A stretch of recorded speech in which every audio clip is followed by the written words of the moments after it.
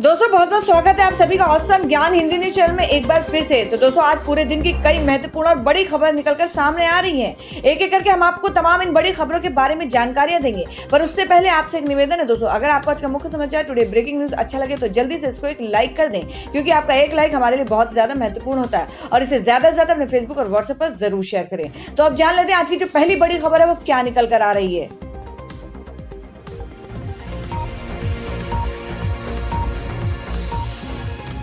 तो दोस्तों, पहली बड़ी खबर में आपको बता दें कि महाराष्ट्र कांग्रेस में बगावत के सुर तेज, मामला सुलझाने के लिए लगाए गए खड़गे।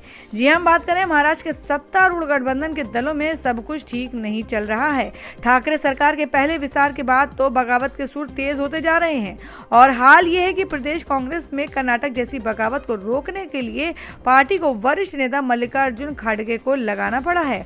और वहीं पुणे में कांग्रेस दफ्तर में मंगलवार को तोड़फोड़ करने के मामले में भोर से पार्टी के विधायक संग्राम थोपटे के 19 समर्थकों को गिरफ़्तार किया गया है और थोपटे को मंत्री नहीं बनाने से उनके समर्थक नाराज़ थे और विभागों के बंटवारों को लेकर भी मतभेद है। आपको बता दें, मंत्रिमंडल विस्तार के दो दिन बाद तक विभागों का बंटवारा नहीं होने के पीछे इसे ही कारण बताया जा रहा है। और दोस्तों, में अगली खबर आ रही है महाराष्ट्र से। आपको बता दें कि किस मंत्री को मिलेगी, कौन सी ज़िम्मेदारी? अजीत पवार ने दी है बड़ी जानकारी। जी हाँ हम बात करें महाराष्ट्र में उद्धव ठाकरे और सरकार के मंत्रिमंडल विस्तार के बाद एक तरफ़ जहाँ पद ना मिलने से कई नेता नाराज़ चल रहे हैं, वहीं दूसरी तरफ़ मंत्री पद की शपथ लेने वाले छत्तीस नेताओं को कौन सी ज़िम्मेदारी दी जानी चाहिए, इस पर चर्चा की गई है। आपको बता दें, बुधवार को ही बैठक में उप मुख्यमंत्री अजीत पवार, मुख्यमंत्री उद्धव ठाकरे और महाविकास अघाड़ी गठबंधन के नेता मौजूद रहे और बैठक समाप्त होने के बाद अजीत पवार ने मीडिया से बात की। और दोस्तों, मैं बता दें कि पॉपुलर फ्रंट ऑफ़ इंडिया के खिलाफ जाँच एजेंसियाँ हुई सक्रिय। गृह मंत्रालय लगा सकता है प्रतिबंध। जी हम बात कर रहे हैं। आपको बता दें कि नागरिकता संशोधन कानून के विरोध में हिंसा को भड़काने में Popular Front Front of India PFI का नाम सामने आया है। और इस मामले में पुलिस ने दो लोगों को पकड़ा है। एसपी सिटी ने कहा था कि हिंसा में पीएफआई का हाथ दिख रहा है। और यह प्रतिबंध संगठन Student Islamic Movement of India का लघु रूप है। और दोस्तों, में अगली खबर आ रही है। बंगाल से आपको बता दें पश्चिम बंगाल में ममता बनर्जी को मात देने के लिए अमित शाह सीख रहे हैं बंगला भाषा। जी हाँ दोस्तों आपको बता दें कि अभी बंगाल में विधानसभा चुनाव होने में एक साल से कुछ अधिक वक्त बाकी है। हालाँकि एक और जहाँ तृणमूल प्रमुख ममता बनर्जी पिछले वर्ष लोकसभा चुनाव के बाद से ही अपनी तैयारी में जुटी हैं तो भाजपा भी पीछे नहीं है। आपको बता दें भाजपा अध्यक्ष और केंद्रीय गृह मंत्री अमित शाह ने चुनाव की तैयारियाँ अभी से शुरू कर दी है। दरअसल भाजपा मिशन दो, दो के तहत बंगाल में प्रचार करने वाली है। चुनावी रणनीति बनाने में कहीं कोई चूक न रहे और इस मामले में भाषा आने न आए। इसलिए भाजपा अध्यक्ष बंगला भाषा सीख रहे हैं और खबर है कि उन्होंने बंगला शिक्षा को रखा है। गौर करने वाली बात यह है कि ममता के बंगला भाषा में लोगों से संवाद करने के मुकाबले में भाजपा के पास कोई तगड़ा नेतृत्व नहीं है।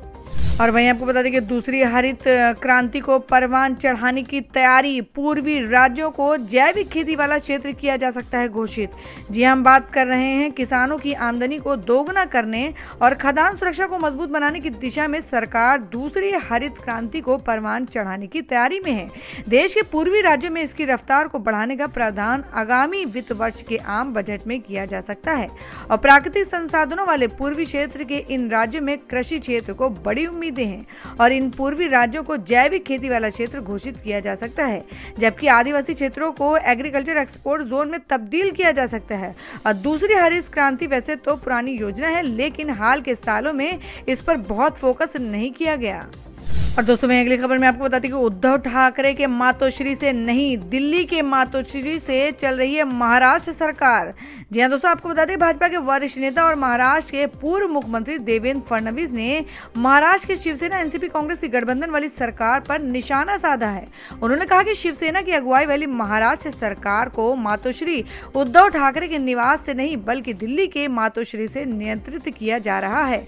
आपको बता दें, देवेंद्र फडणवीस आगामी पालघर जिला परिषद चुनावों के लिए प्रचार कर रहे थे। इस दौरान अपने भाषण में उन्होंने मुख्यमंत्री और शिवसेना अध्यक्ष उद्धव ठाकरे पर निशाना साधते हुए टिप्पणी की है। विधानसभा में विधानसभा में विपक्ष के नेता ने कहा कि इस सरकार को मातोश्री मुंबई में उद्धव ठाकरे के निवास से नियंत्रित नहीं किया जा रहा है। इसे दिल्ली के मातोश्री से नियंत्रित किया जा रहा है। तो दोस्तों बता दें कि देश के पहले सीडीएस पर पीएम मोदी बोले युद्ध की बदलती चुनौतियों से लड़ने में मिलेगी मदद। जी हाँ, हम बात कर रहे हैं प्रधानमंत्री नरेंद्र मोदी ने देश को पहला Chief of Defence Staff CDS मिलने पर बधाई दी है।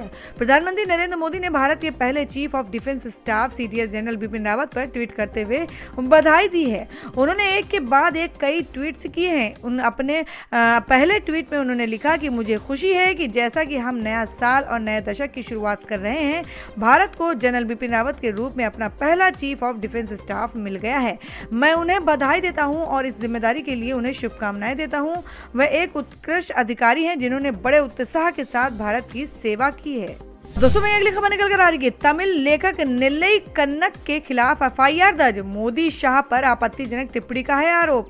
जी हाँ, दोस्तों, आपको बता दें कि भारतीय जनता पार्टी के नेताओं की शिकायतों के आधार पर तमिल लेखक निलई कन्नन के खिलाफ एफआईआर दर्ज की गई है। भाजपा नेताओं का आरोप है कि निलई ने सीएए के खिलाफ हुई प्रदर्शन के दौरान भड़काऊ भाषण दिए हैं और लेखक पर प्रधानमंत्री मोदी और गृहमंत्री अमित शाह पर कथित आपत्तिजनक टिप्पणी करने का आरोप है। और दोस्तों, मैं अगली खबर में आपको बताती कि कांग्रेस ने सीडीएस नियुक्ति पर उठाए हैं सवाल। कहा, समय के साथ सामने आएँगे दुष्परिणाम। जी हाँ दोस्तों, हम बात करें कांग्रेस ने मंगलवार को जनरल बिपिन रावत को chief of defence staff CDS के रूप में नियुक्ति किए जाने पर कई सवाल उठाए हैं। पार्टी ने कहा कि सीडीएस नियुक्ति पर सरकार ने गलत कदम उठाया है और कांग्रेस के प्रवक्ता मनीष तिवारी ने कहा कि सरकार ने सीडीएस की नियुक्ति पर गलत कदम उठाया है और समय के साथ इस फैसले के दुष्परिणाम सामने आएँगे। तो दोस्तों, खबरों में आगे बढ़ने से पहले एक बार फिर से आपको दिला दे कि अगर आपने अभी तक हमारे वीडियो को लाइक नहीं किया तो जल्दी से वीडियो को लाइक कर दे। और अगर आप हमारे चैनल पर नए हैं तो चैनल को पहले सब्सक्राइब कर लें और बेल के बटन को भी ज़रूर हिट कर दें। तो चलिए, बढ़ते अगली बड़ी खबर की ओर। और दोस्तों, मैं अगली खबर बता दें बारह राज्यों के लोग कहीं से ले सकेंगे अपना सरकारी राशन। इन राज्यों में लागू हुआ है one nation, one ration card. जी हाँ दोस्तों, हम बात कर रहे हैं, केंद्रीय उपभोक्ता मंत्रालय ने इस साल एक जून से पूरे देश में one nation, one ration card लागू करने का लक्ष्य तय किया है। और पूरे देश में लागू होने के बाद कोई राशन कार्डधारी एक ही कार्ड से देश में कहीं से सरकारी राशन खरीद सकेगा। आपको बता दें, नए साल के पहले दिन में देश के बारह राज्यों के राशन कार्डधारियों के लिए एक खुशखबरी आई है। अब देश के कुल 12 राज्यों में one nation, one ration card योजना लागू हो गई है। इसे इसे राशन कार्ड पोर्टेबिलिटी में पोर्टेबिलिटी भी कहा जाता है।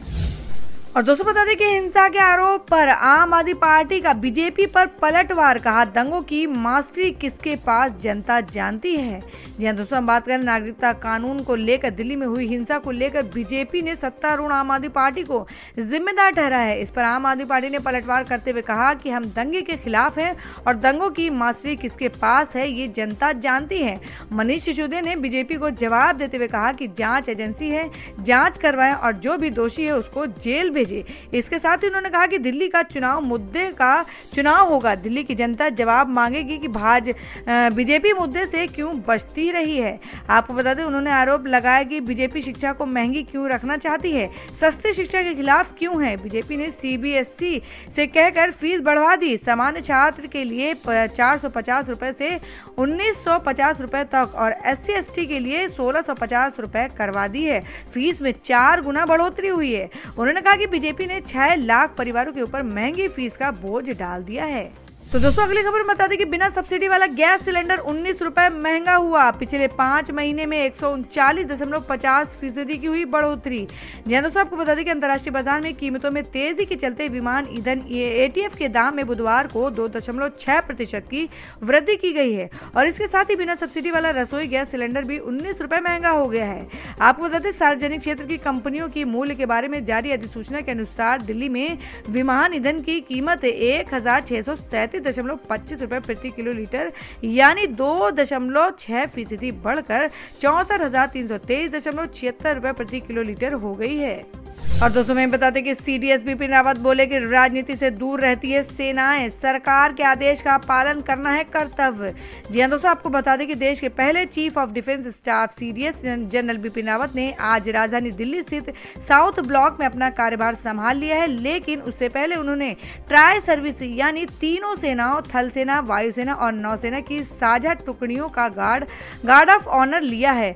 और सरकार राष्ट्रीय समर स्मारक जाकर देश के शहीदों को श्रद्धांजलि अर्पित की है। और इस दौरान मीडिया से बातचीत करते हुए जनरल रावत ने सीडीएस की कार्यप्रणाली और भूमिका को भी साफ़ कर दिया है। अगली खबर आ रही है दिल्ली से। आपको बता दें कि दिल्ली में भाजपा के सीएम कैंडिडेट पर संशय। जावड़ेकर ने कहा, सही समय पर सही फैसला।